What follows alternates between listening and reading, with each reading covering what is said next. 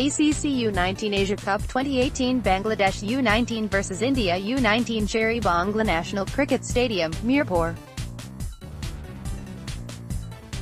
India U19, 172 tenths and 49.2 overs, Jiswal 37 Sameer 36, Rawat 35, Shoriful 3 16ths, Towhid 2 quarters, Mrittunjoy 2 27ths, Rishad 2 36, Bangladesh U19, 170 tenths and 46.2 overs, Shamim 59 Akbar 45, Joy 25, Jangra 3 25ths, Desai 3 35ths, Harsh 2 29ths, result, India U19 won by 2 runs.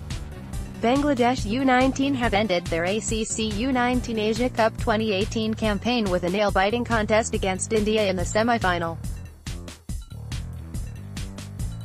Bangladesh lost the match by two runs at Sher-e-Bangla National Cricket Stadium. Winning the toss, India were all out for 172 in 50th over thanks to Shoriful 3 for 16 alongside all-round performance from the bowlers.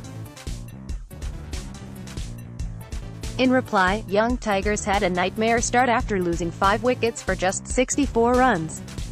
Then half-century on Shamim Hossain and Akbar Ali put the fight back in and almost guided Bangladesh to victory.